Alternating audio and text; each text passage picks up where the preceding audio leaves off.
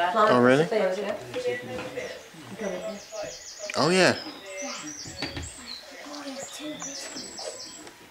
Just in front of Sizewell the Dome now, just below the dome.